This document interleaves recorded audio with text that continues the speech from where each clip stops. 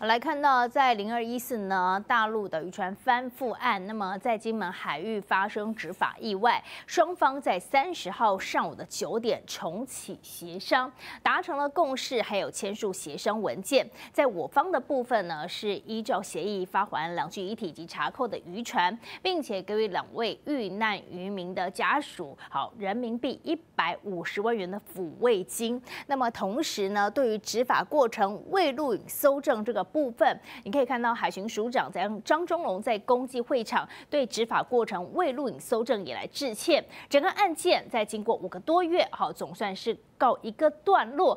那么根据了解协议，并且做成附带决议，善意来处置金门的吴姓钓客大进满八十八号渔船两件事情，现在都着手进行。大家来看到，在这一次最终呢达成了一个协议。那么是官方对官方，官方对民间，还是什么呢？那么陆委会副主委梁文杰说，当事人对当事人。国台办发言人陈明华表示，这次的案件呢跟两岸协商谈判无关，要回到九二共识政治。基础，两岸的协商谈判才能够来恢复。好，再看到是厦门台协荣誉会长吴佳莹也认为整体的事件落幕，为其他事件协商起了一个好的开端。但是呢，在今夏旅游的部分。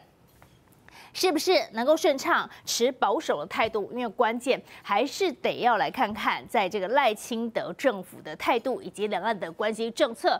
那我们也可以看到了，现在呢，在这个淡大两岸关系研究中心主任张五月哈学者怎么看？在这个部分，两岸在五二零之后双向的正常交流做了一个很好氛围的铺垫，签署共识，让各自都找到一个台阶下。但是不论这个疙瘩是不是真的翻页了，至少。说现在最坏的情况已经过去。那么同时，文大国发大陆所副教授哈也说了，发生这样的事件，事实上在两岸双方哦都不好受，因为卡住了太多事，像是两岸的交流啦、观光啦等等等。那么现在呢，这个这个部分。以个案的方式来处理，但是还留下了许多日后两岸冲突下诸多层面的一个悬念，所以看似顺利落幕，但是后续呢，是不是还是有更多问题待解？能够继续的交流吗？好，现在可以看到重启协商一个共识，那么已经是留下了这样的一个。结束好，在昨天的部分。那么现在赖清德总统他说对等尊严原则，对话取代对抗。好，但说中国是威权主义，中国是世纪威胁。好，我们可以看到大家都希望能够交流，但是呢，现在这个话一出，那你可以看到赖清德连外至中的意图是否太过明显？那么中华民国总统是谁？台湾的民众安全力才是重中之重。现在也很担心哦，好不容易护地的橄榄枝会不会哎赖清德又讲出这样的一个话？被他的真心话又给吓到，又给缩回去了。那么赖清德在出席 IPAC 年会就重申了这个四和平四大支柱的行动方案。那么同时呢，也表示台湾会致力维护区域的和平稳定。好，在以有对等尊严的原则下，会对话取代对抗交流。取代围堵，能够达到台海和平。而至于说台海真的能够和平吗？持续也要来看到，在这个遭到日方扣押的苏澳级渔船富生号，好，富生号在三十一号凌晨一点钟回到了南方澳的渔港，终于呢，在这个部分是回来了。但是因为先前跟日本船舰追逐的时候发生碰撞，所以在船舱的部分回来可以看到是破了一个洞，也担心船只的结构受损发生危险，所以是由海巡队来派派出舰艇陪伴来护送返航。船舷外壳破裂，露出内部结构，一旁的船舱也被撞出一个大洞，上面的红色管线也断裂脱落，摇摇欲坠。地面则充满破裂的碎片。二十八日下午，疑似越界捕鱼遭日本海上保安厅追捕的富生号，三十一日凌晨一点左右返抵南方澳渔港，但在追捕过程中和日方船只发生碰撞，结构受损。为了避免发生意外，海巡队派遣宜兰舰和警艇接力借护富生号。我们一路是从二十四海里跟宜兰舰交接啊，一路中。遭押到石原岛后，家属支付一百五十万日币担保金，终于在三十日上午早上八点从石原岛出发返回宜兰。历经十七小时的航程，三十一日凌晨一点抵达南方澳。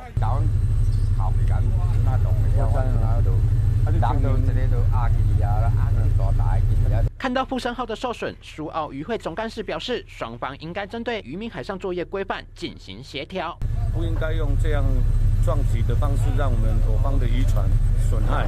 至于究竟富山号渔船是否越界捕鱼，以及渔船受损理赔问题，目前都还要做进一步调查。记者林医生宜兰采访报道。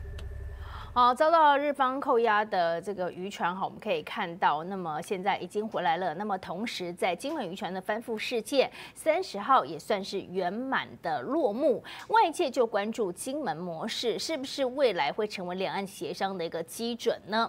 陆委会主委邱垂正强调，政府主导才能够维护国家安全。而另外，在莱茵的立委们也希望，在金门落水钓客还有被陆方扣押的大金满八八号，能够在八月份顺。你回来。由于双方同意协商文本不公开，但双方会共同配合落实协商的内容。陆方呃，就是有一些什么恶性撞船的说法啊。我想今天能够达成共识，就证明这不是双方协商的一个障碍啊。那呃，我想今天能够达成这个呃共识呢？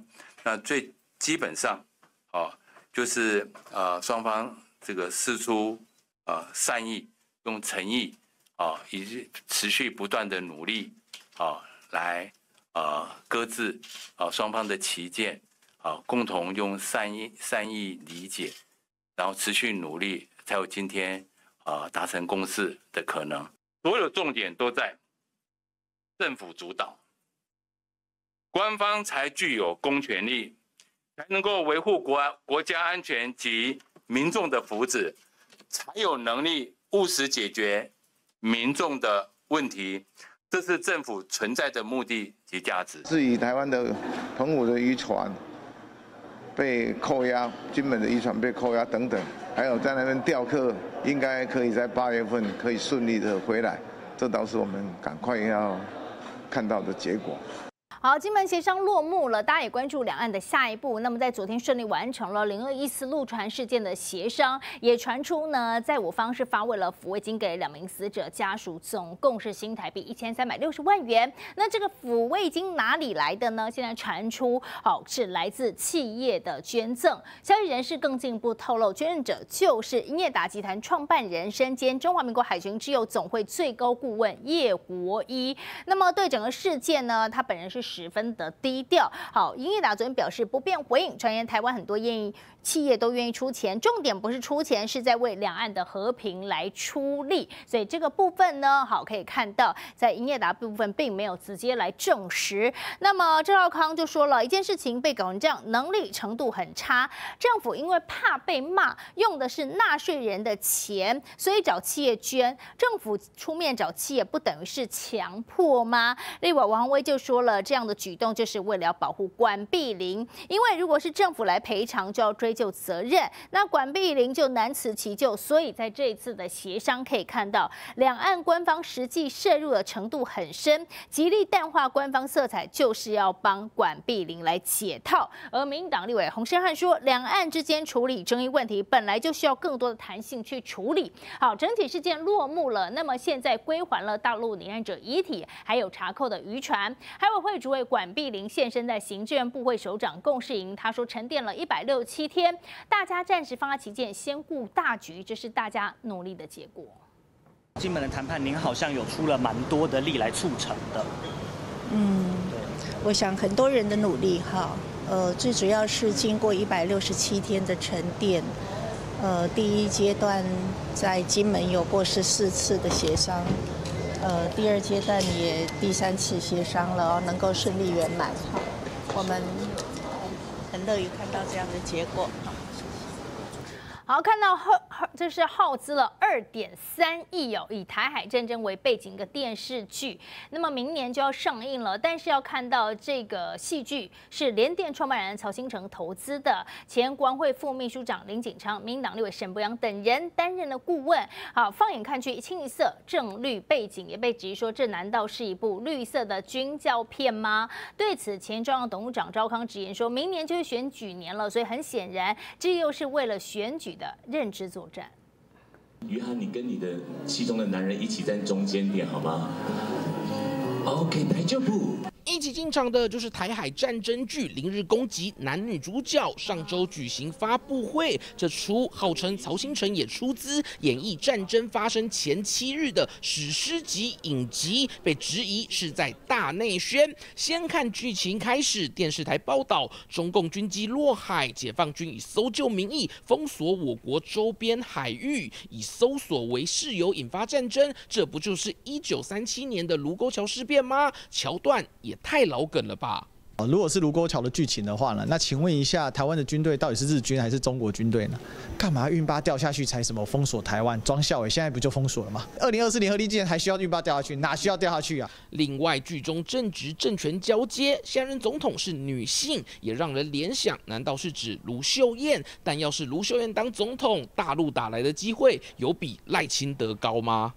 旅日攻击想要塑造的是台湾人看起来随时会被解放军挨打。就民党现在政府的一些反应来说，事实上四个字：围如雷卵，根本不用你拍。它的剧情里面还是融入了很多像是第五纵队啊啊，那因为他请了沈博阳嘛。除了沈博阳在顾问团中，名单还包含前国安会副秘书长林景昌、文总秘书长李厚庆，清一色正绿背景。而出资的除了有企业家曹新成，还有文化部、中华电信、高雄市府等单位，遭质疑成了绿色军教片。预告是明年推出，为什么？又跟选举有关了嘛？为民进党的认知作战了。两亿三千万，文化部就补助七千万。哦，那曹先生到底出多少钱也没讲。如果今天曹董要就你就全部都自己出资嘛，你不要拿政府补助，要不然就是得奖，要不然就是卖座。如果这两个得不到的话，你还拿政府补助，那就是为了内选。结合选举考量，兼顾认知作战，甚至还能培养绿色产业链，一举多得的戏剧，的确堪称史诗级。记者石文贤、张良浩台北报道。大家都说我变漂亮了，其实是气色好，肌肤保湿做得好，气色自然漂亮。我选择 KS 皇家呵护芦荟保湿舒缓凝胶，因为它用国际芦荟协会认证高品质的库拉索芦荟，含有大量的粘多糖体，类似于玻尿酸，可以帮助锁住皮肤水分，让肌肤长时间保持水嫩。还运用 TTS 技术，增强芦荟的生物活性，修护舒缓日晒后的各种不适。KS 皇家呵护芦荟保湿舒缓凝胶，帮助您随时拥有水润肌、好气色，呵护您，呵护全家人，专属你的 KS Royal Care。